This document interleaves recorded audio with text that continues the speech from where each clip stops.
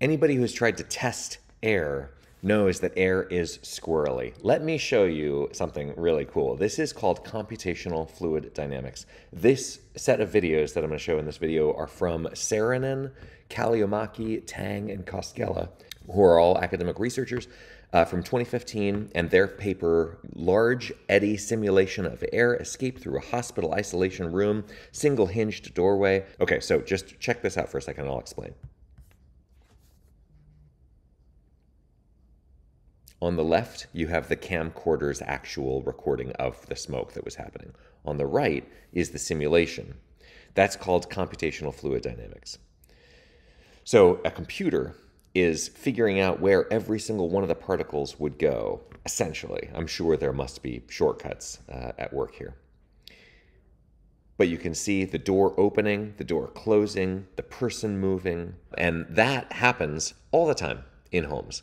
In fact, we tend to, especially on this channel, get worried about like where the duct work is and where the airflows are so that we can make sure that mixing happens. And one of the things that Attila Novoselac showed in his video from the CIE series that we've been doing, this 31 part series on the chemistry of indoor environments, which if you have not checked out, I highly recommend you watch that. If you're in the middle of this, then you're like definitely prime material for that. There is air movement all the time because of something as simple as like the temperature of surfaces being different than the temperature of the air. Here is an example of someone moving through a door. And this is why, uh, depending on air movement from just natural ventilation or from just uh, people moving in and out of uh, homes, is not really dependable, and also why somebody like me who has this perfect house that I've built that's perfectly engineered to have continuous ventilation and all this stuff, and then my kids go through, run through a door, they slam it open, they slam it shut.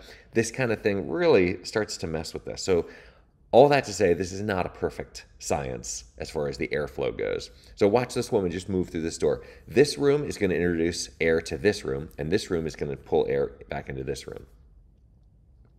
So the yellow on the right is coming from the room on the left. The white on the left is coming from the room on the right. And you can see that just the door being open and that simple action of moving is partly why I don't really worry in a room like a pantry inside of a home. We don't necessarily need to introduce a lot of airflow if this is going to be a well used pantry and people are going to come and go through this thing.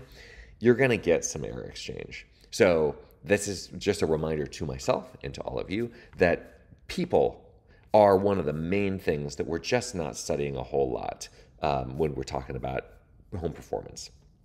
And it's so critical. So, just a reminder physics is weird, chemistry gets even weirder, microbiology is in there too. Don't forget about all that stuff and how uh, mixed together all of our environments are. The pollution in your room has a lot to do with the pollution in my room, and your neighborhood and my neighborhood.